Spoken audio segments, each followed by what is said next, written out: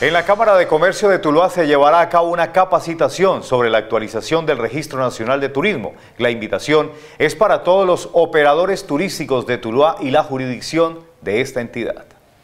En esa actualización participarán funcionarios de la Cámara de Comercio, la Policía Nacional y Migración Colombia. El próximo 23 de enero queremos invitar a todos los operadores turísticos. Eh, los operadores turísticos, aquellos que se dedican a actividades tales como la hotelería, eh, las agencias de viaje, eh, las personas que se dedican a transportar, pues precisamente eh, todo esto lo que tiene que ver con, con, con el turismo.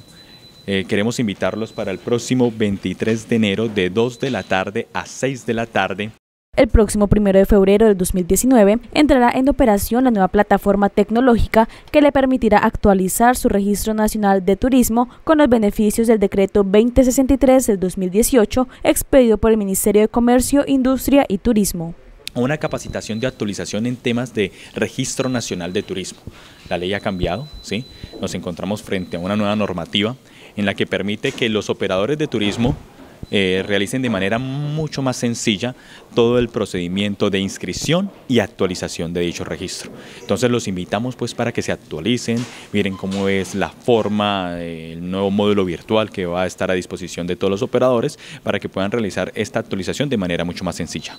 Los interesados se podrán inscribir en la Cámara de Comercio. Es totalmente gratuito, y sí vamos a tener una mm, muy buena fluidez de público. Es un tema bastante interesante, eh, bastante actual. Todos los años nosotros ofrecemos esta capacitación y en esta oportunidad pues precisamente con un nuevo cambio normativo.